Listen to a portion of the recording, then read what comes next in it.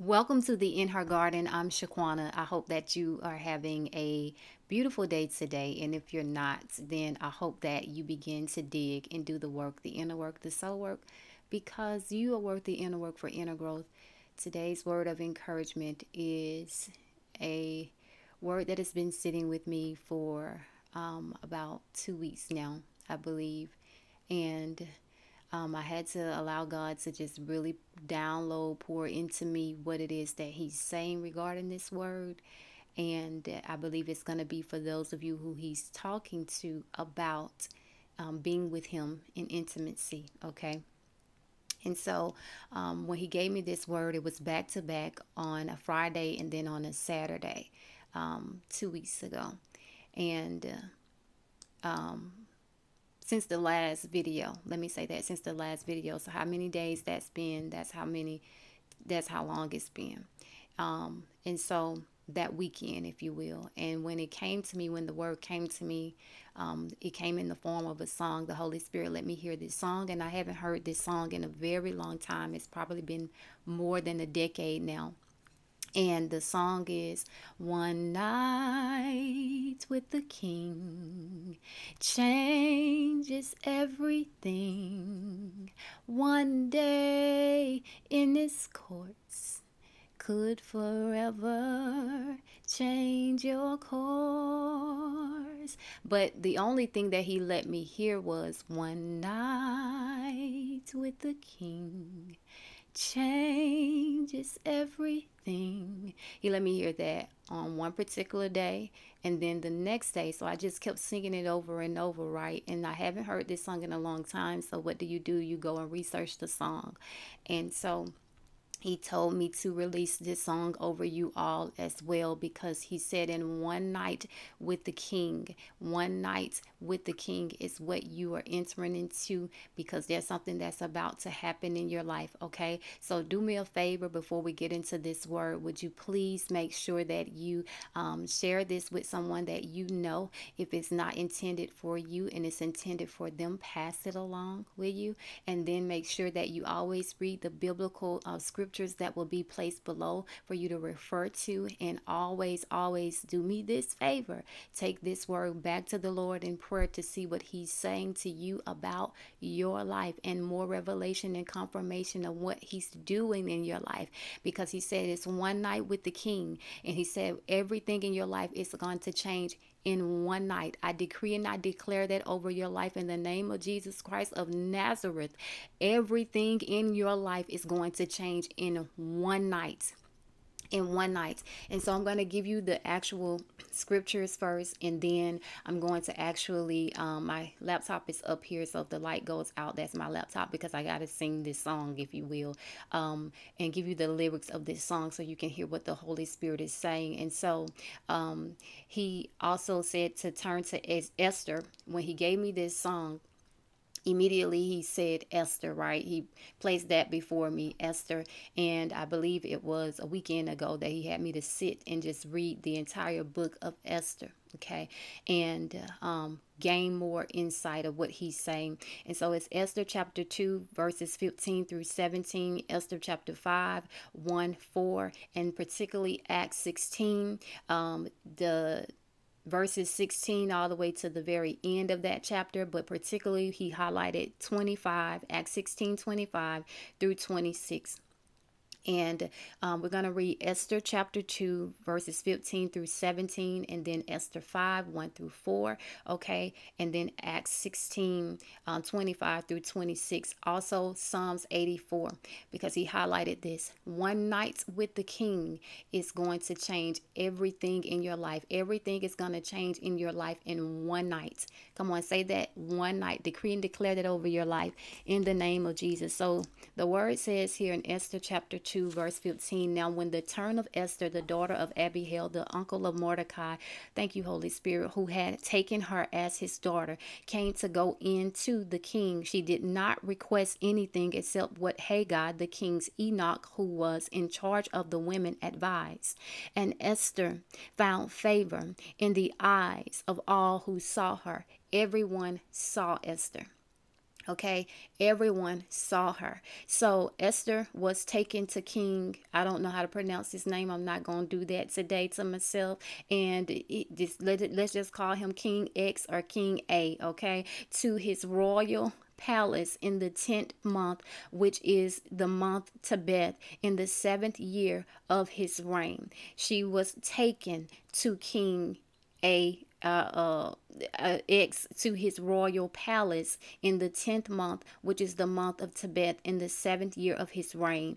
And then the king loved Esther more than all the women. The king loved Esther more than all the women, and she found favor and kindness with him more than all the virgins, so that he set the royal crown on her head and made her queen instead of Vashti or Vashti. Okay, then we're going to go to um, Esther chapter 5 and it's going to be verses 1 through 4. Now, it came about on the third day that Esther put on her royal robes and stood in the inner court. She stood in the inter, inner court of the king's palace in front of the king's rooms, and the king was sitting on his royal throne in the throne room. Come on. Welcome to the throne room. I hear that song. Opposite the entrance to the palace. And when the king saw Esther, the queen, standing in the court, she obtained favor in his sight. And the king extended to Esther the golden scepter which was in his hand. So Esther came near and touched the top of the scepter. And the king, then the king said to her, What is troubling you, Queen Esther? And what is your request? Even to half of the kingdom it shall be given to you. Esther said, If it pleases the king, may the king and Haman come to come this day to the banquet that I have prepared for him. Acts 16, Acts 16, particularly 25 through 26 and this is when paul and silas they was on their way to prayer the house of prayer and they were met with the spirit right a demonic spirit. And then he cast this spirit out because he had been following them day after day. Just giving you a little bit of background story here.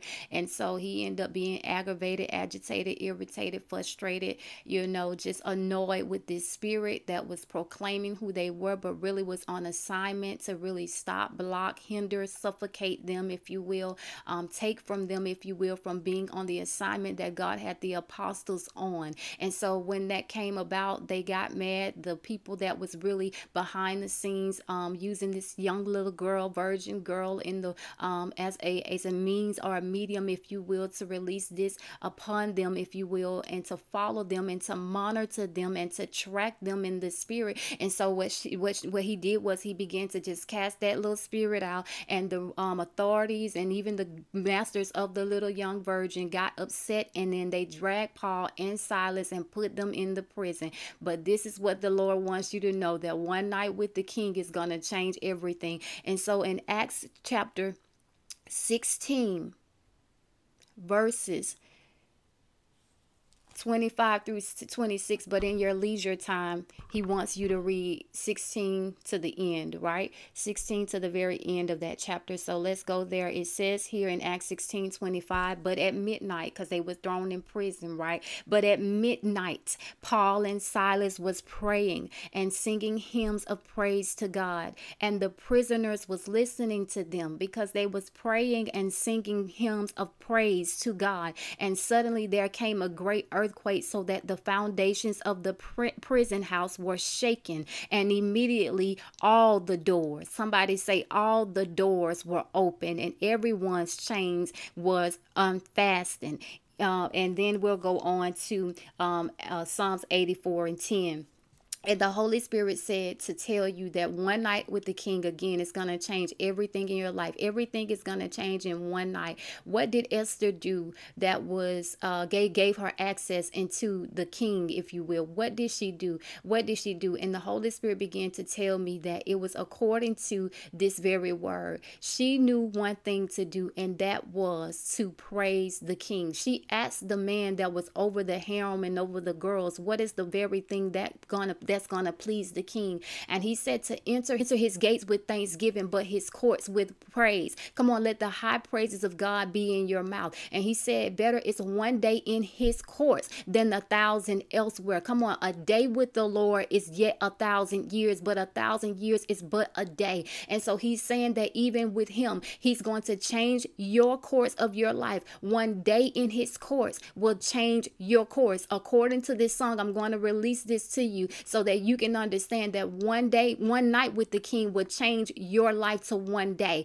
One night with the king changes into one day with the king. One day with the king is better than a thousand elsewhere. Come on, a, or a day with the king is a thousand years. And so God is telling you today that He's asking you and inviting you to come into one night with Him. What is that night? It's even on tonight to come into one night with Him because He's going to change your night into day. In the name of Jesus, I decree and I declare that over your life that your night is turning into day with the King. In the name of Jesus, He inhabits the praises of His people. He said, "Let your let the high praises of God be in your mouth before you come to Him and ask Him for, you know, you know, when it comes to a request, right? The request. She, he said, "What's troubling you, Esther?" But she had a request that she had to place before Him because there was an assignment that the enemy had in place to take out the Jews. But Esther was on assignment too. But she had the wisdom of God to maneuver in the spirit to even go before the king to not request anything yet, but to praise Him.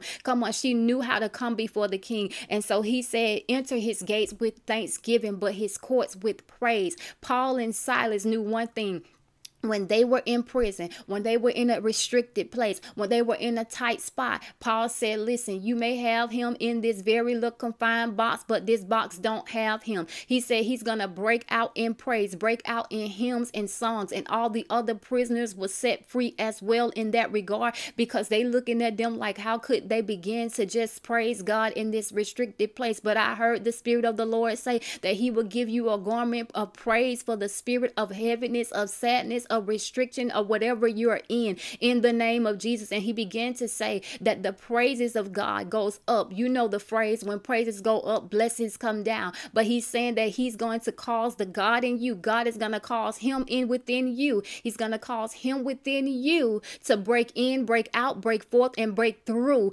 everything that is trying to restrict you. Why? Because of the praises of God in your mouth. Esther knew how to praise the king. Come on. She knew how to praise the king. God said in one night, everything is going to change in your life.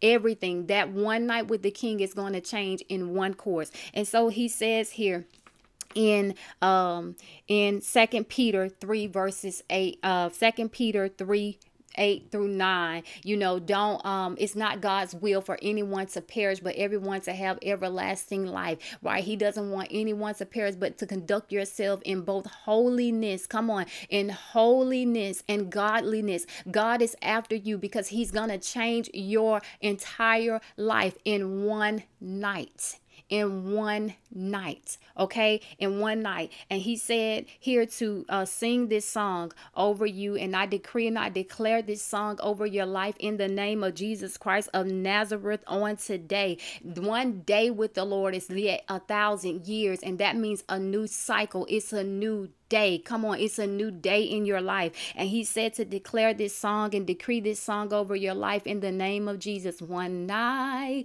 with the King changes everything. One day in his courts did forever change my course.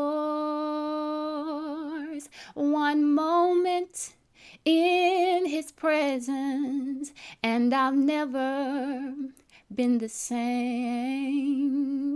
One night with the king changes everything. One day in his courts could forever change your course. One moment in his presence, and you'll never be the same. One night with the king It changes everything. One day in his courts could forever change your course. From the desert to the king, it had been my destiny to be chosen for such a time as this. I didn't know all of my dreams could become realities. Then I saw his face and his love captured me. Yes, one night with the king, it really changes everything.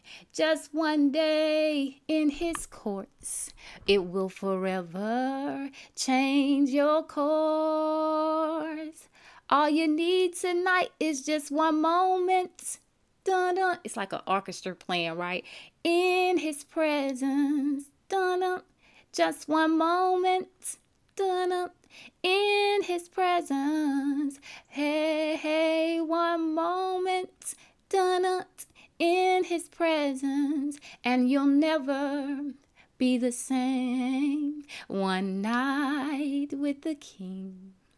It changes everything. And it just keeps going on and saying that repeatedly because he's changing your course. The Holy Spirit, the Spirit of the Lord is saying that he's changing changing your course. I don't know what course you've been on. If you've been on a backsliding course, come on. If you've been on an idolatry course, if you've been on a fornication course, whatever course you've been on, he's changing your course. Whatever course that the enemy has set up for you, he's changing your course in one night with the king. He's going to change everything. Your everything in your life is going to change in one night. I do not know what course you are on, but the Holy Spirit said when you give him one night with him, just one night of intimacy, better is one day in his courts than a thousand elsewhere. Come on, he says He's changing you. He's changing your course and everything. Just like this song says, she did not know that all of her dreams could become a reality. Come on, he's saying that he's giving you the reality of your dreams. It will not just be a dream, but it's coming into reality. I decree and I declare that in the name of Jesus, everything that God has shown you in a dream is going to become a reality one night with the King. It's going to change into one day with Him one day with him. And so he said, Your praises is causing you to go into this next place in your life, this new cycle in your life. Come on, he's passing over you. Whatever the enemy tried, he's passing over all of that because of one night. Oh my God, because of one night, because of the blood of Christ.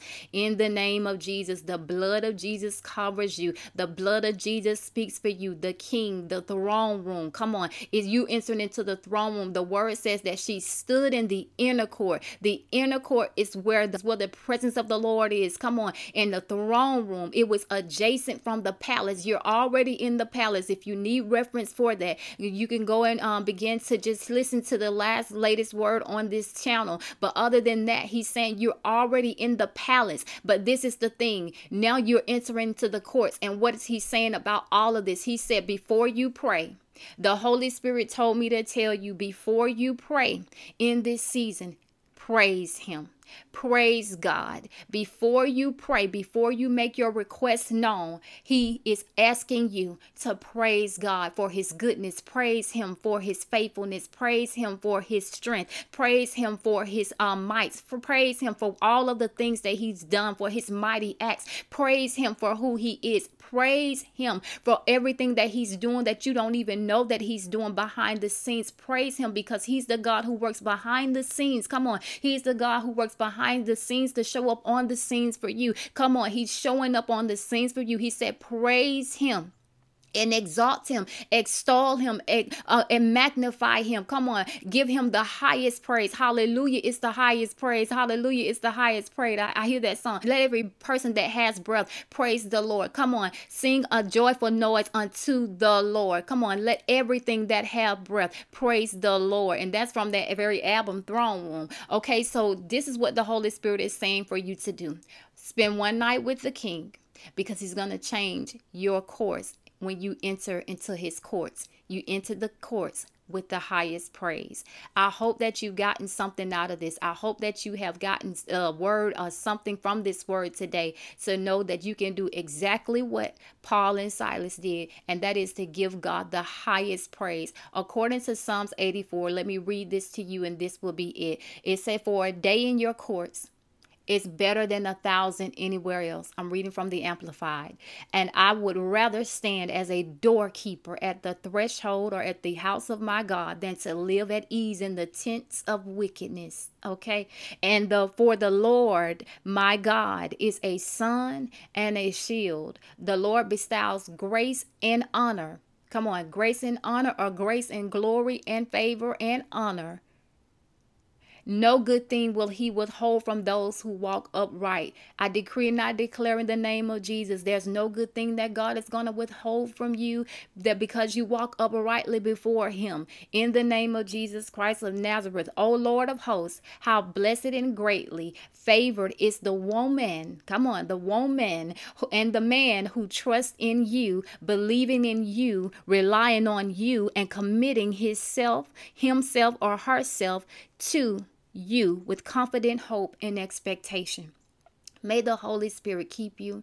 May the Holy Spirit have this word to be implanted within you that is able to save your soul, your mind, your will, and your emotions in this time. I hope that you do the work because you are worth the soul work. And I will talk with you later. Have a beautiful day today. I'm going to place the very song in the bottom of the description box. And I just ask and suggest that you really go and listen to this song because this song took me in. I was on the floor. Do you understand? Um, and the Lord is too faithful to fail us. The Lord is too kind. Okay, He's not a man that He should lie, neither the